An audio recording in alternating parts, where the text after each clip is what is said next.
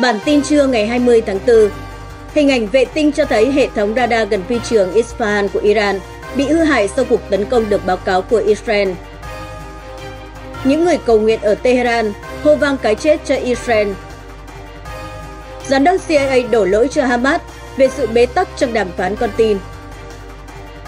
Các tiểu vương quốc Ả Rập Thống Nhất chật vật tụ hồi sau lượng mưa lớn hiếm có trong lịch sử. Dịch tảo hành hành ở miền Nam châu Phi khiến hơn 1.000 người thiệt mạng. Hai tàu chiến của Trung Quốc thường trực ở căn cứ Hải quân Rim của Campuchia, Việt Nam có nên lo lắng. Quý vị đang theo dõi bản tin trưa của DKN. Hôm nay là thứ Bảy, ngày 20 tháng 4. Sau đây là nội dung của bản tin.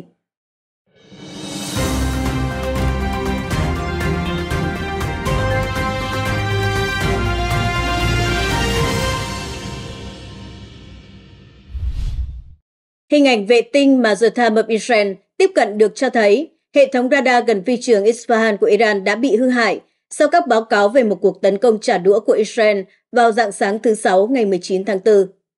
Theo chính sách của cơ quan chịu ảnh, hình ảnh này hiện không được phép xuất bản.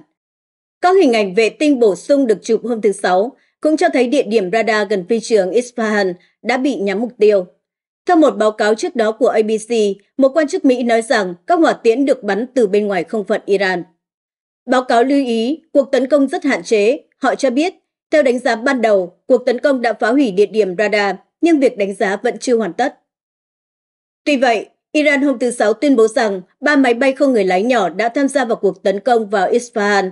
Truyền hình nhà nước cho biết UAV đã bị lực lượng phòng không phá hủy và không đề cập đến bất kỳ hỏa tiễn hay thiệt hại nào trong cuộc tấn công.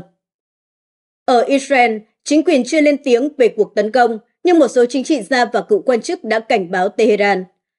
Phát biểu với kênh tin tức Channel 12, tướng về hưu Israel Zip, cựu giám đốc hoạt động của IDF nói rằng nếu cuộc tấn công do Israel thực hiện thì nó không nhằm mục đích gây ra sự tàn phá lớn mà để gửi một thông điệp rất rõ ràng tới Iran rằng IDF có thể xâm nhập các địa điểm nhạy cảm nhất của Iran. Trong cuộc gọi vài giờ sau cuộc tấn công, Bộ trưởng Quốc phòng Mỹ Lloyd Austin đã nói chuyện với Bộ trưởng Quốc phòng Israel Yoav Galan, ngũ giác đài cho biết, đồng thời cho biết thêm rằng họ đã thảo luận về việc duy trì sự ổn định ở Trung Đông cùng các vấn đề khác. Bất chấp các báo cáo cho rằng địa điểm radar đã bị phá hủy, các hình ảnh vệ tinh do CNN công bố dường như không cho thấy bất kỳ thiệt hại lớn nào đối với căn cứ không quân Isfahan của Iran. Những người cầu nguyện ở Tehran hô vang cái chết cho Israel. Những người cầu nguyện ở Tehran đã tập trung tại một cuộc biểu tình chỉ vài giờ sau cuộc tấn công được báo cáo của Israel vào Iran. Mọi người hô vang cái chết cho Israel, cái chết cho nước Mỹ và cái chết cho những người theo chủ nghĩa phục quốc Do Thái, trong khi vẫy cờ Iran và Palestine. Sky News dẫn lời một người đàn ông nói, người Israel không làm điều gì đặc biệt dựa trên những gì tôi nghe được từ các cơ quan thông tấn. Tôi không nghĩ họ có đủ can đảm để làm bất cứ điều gì sau cuộc tấn công thành công của Iran. Tuy người dân phản ứng giận dữ, song chính quyền ở Tehran dường như không có kế hoạch trả đũa. Một quan chức cấp cao của Iran cho biết Iran không có kế hoạch trả đũa ngay lập tức cuộc tấn công rõ ràng của Israel vào sáng sớm thứ Sáu. Phát biểu với Reuters, quan chức giấu tên cho biết nước này đang xem xét liệu hoạt động này có phải là một cuộc xâm nhập hay một cuộc tấn công hay không. Vị quan chức nói, nguồn tin nước ngoài về vụ việc chưa được xác nhận. Chúng tôi chưa nhận được bất kỳ cuộc tấn công từ bên ngoài nào và cuộc thảo luận nghiêng về việc xâm nhập hơn là tấn công. Quân đội Israel từ chối bình luận về thông tin về cuộc tấn công. Đa phần giới quan sát đánh giá cả Iran và Israel đều đang cố gắng giữ thể diện. Israel thì muốn trả đũa, nhưng không phải là cuộc tấn công khiến các đồng minh của họ khó chịu quá nhiều. Trong khi đó, Iran đang cẩn thận không làm quá cuộc tấn công của Israel liên quan đến tình hình ở giải Gaza. Giám đốc cơ quan tình báo Trung ương Mỹ CIA Bill Burns đổ lỗi cho Hamas về sự bế tắc mới nhất trong các cuộc đàm phán về con tin, nói rằng nhóm khủng bố này đã bác bỏ đề xuất mới nhất do các nhà hòa giải Mỹ, Qatar và Ai Cập đưa ra. Thật thất vọng sâu sắc khi nhận được phản ứng tiêu cực từ Hamas. Ông Bơn nói tại một sự kiện ở trung tâm Tổng thống Jack Dalibut ở Dallas hôm thứ Năm 18 tháng 4. Ông Bơn nói thêm rằng, ngay bây giờ, Phản ứng tiêu cực đó thực sự đang cản trở những thường dân vô tội ở Gaza nhận được cứu trợ nhân đạo mà họ vô cùng cần. Giám đốc CIA cũng cho biết ông không thể bảo đảm các cuộc đàm phán sẽ thành công. UAE chật vật phục hồi sau lượng mưa lớn hiếm có trong lịch sử. Các tiểu vương quốc Ả Rập Thống Nhất UAE đang chật vật phục hồi sau khi lượng mưa lớn nhất từng được ghi nhận đổ bộ vào quốc gia sa mạc này. Cuối ngày thứ Ba 16 tháng 4, lượng mưa hơn 142 mi đã làm ngập Dubai trong hơn 24 giờ. Hệ thống thoát nước của UAE nhanh chóng trở nên quá tải hôm thứ Ba, làm ngập các khu dân cư, khu thương mại và thậm chí cả một phần đường cao tốc 12 làn sách JS chạy qua Dubai. Hệ thống thoát nước của UAE nhanh chóng trở nên quá tải hôm thứ Ba, làm ngập các khu dân cư, khu thương mại và thậm chí cả một phần đường cao tốc 12 làn Sheikh JS chạy qua Dubai.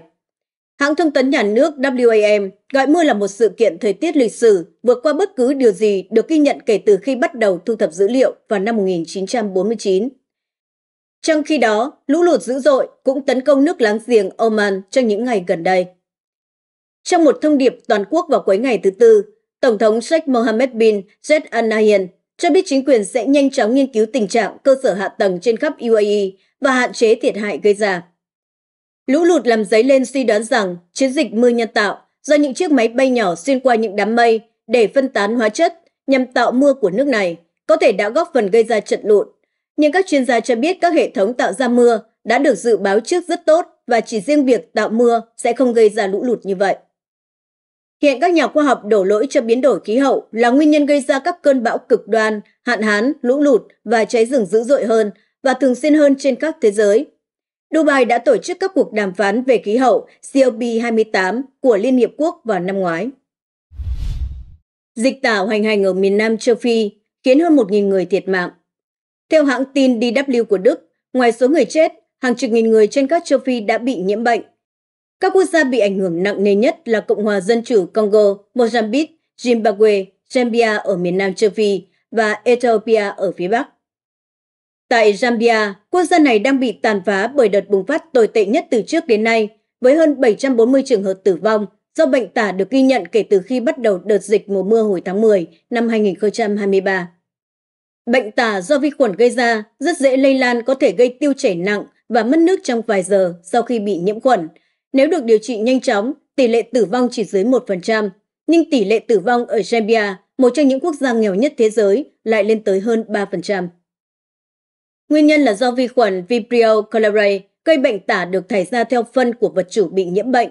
Vi khuẩn này sẽ lây lan nhanh chóng nếu xâm nhập vào nguồn cung cấp thức ăn hoặc nước uống. Chuyên gia quản lý nước Enjadu Plessis, phó giáo sư tại Đại học Nam Phi cho biết, lũ lụt ngày càng thường xuyên và nghiêm trọng hơn liên quan đến biến đổi khí hậu cũng có tác động đến sự bùng phát dịch tả. Dịch tả xảy ra nhiều hơn vào mùa mưa và hiện khu vực phía Nam châu Phi đang trong mùa mưa. Hiện chỉ có một nhà sản xuất có trụ sở tại Hàn Quốc sản xuất vaccine phòng bệnh tả bằng đường uống. Theo Tổ chức Bác sĩ Không Biên giới, MSF, họ đang sản xuất 700.000 liều thuốc mỗi tuần, nhưng nhu cầu lớn gấp 4 lần so với khả năng cung cấp. Hai tàu chiến của Trung Quốc thường trực ở căn cứ Hải quân Rim của Campuchia. Việt Nam có nên lo lắng? Theo hình ảnh vệ tinh, hai tàu chiến của Hải quân Trung Quốc đã có mặt tại căn cứ Hải quân Rim của Campuchia trong phần lớn thời gian của hơn 4 tháng qua. Sự hiện diện của hai tàu chiến Trung Quốc trong một thời gian dài đang làm dấy lên những câu hỏi về mức độ thường trực của lực lượng quân sự Trung Quốc tại đây. Trung tâm Nghiên cứu Chiến lược và Quốc tế CSIS nhận định đây là dấu hiệu rõ ràng cho thấy đặc quyền tiếp cận của Trung Quốc tới Rim. Nơi này cách đảo Phú Quốc khoảng 30 km và cách biên giới trên bộ giữa Việt Nam và Campuchia khoảng 90 km. Trung Quốc cũng là quốc gia đầu tiên đưa tàu chiến đến gần căn cứ Rim vào năm ngoái.